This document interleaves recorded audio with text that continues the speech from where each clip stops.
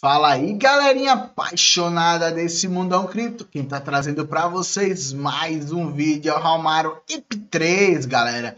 Essa criptomoeda que pode trazer grandes valorizações na sua carteira. Será que ela vai conseguir acompanhar toda essa alta do mundo cripto?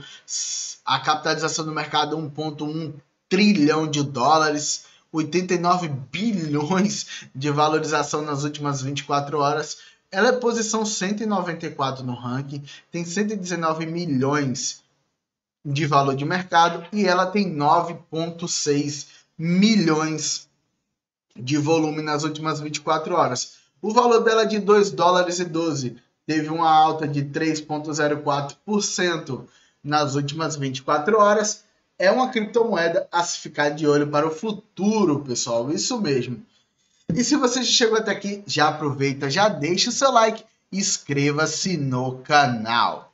Pessoal, a EP3 aqui tá, está caindo, tá? Desde o seu topo histórico, que foi aqui nos 9 dólares e 76, ela veio caindo, caindo, caindo, caindo, caindo.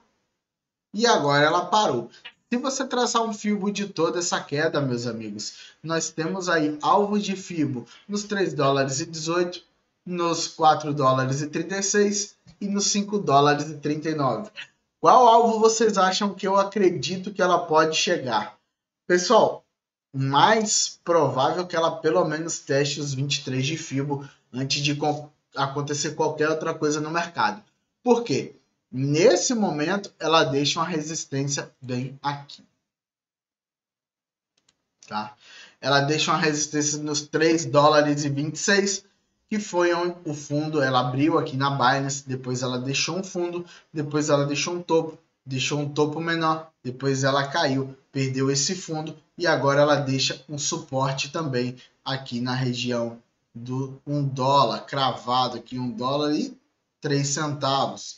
Então a gente tem essa região de suporte, nós temos uma região de resistência travada e onde é que ela se encontra no semanal? No meio do caminho.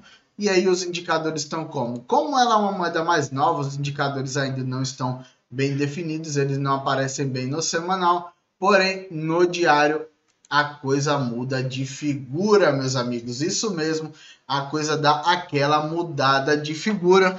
Vamos dar uma olhada no gráfico para vocês entenderem o que eu estou falando.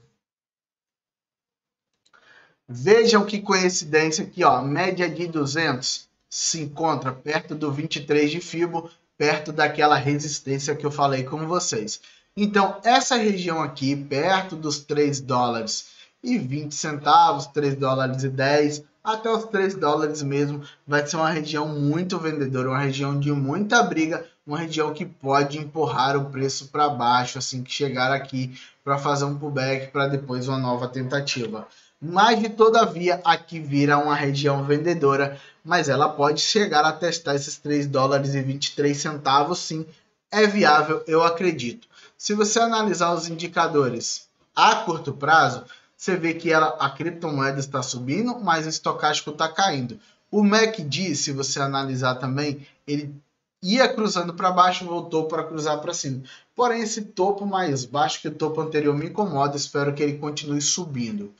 Se você analisar, o RSI também estava caindo, voltou a subir no dia de hoje. Então, se você analisar todo esse contexto de mercado, tudo que está acontecendo com a EP3, se ela começar a trabalhar acima dos 2 dólares e 24, a gente vai ter alta, um possível teste. Vamos tirar esse Fibonacci de trás e vamos traçar um Fibonacci desse pivôzinho que se formou, para a gente poder balizar o preço aqui dentro do gráfico, tá? Aqui temos um fundo bem definido, um topo bem definidinho aqui, e aqui você tem o Fibonacci.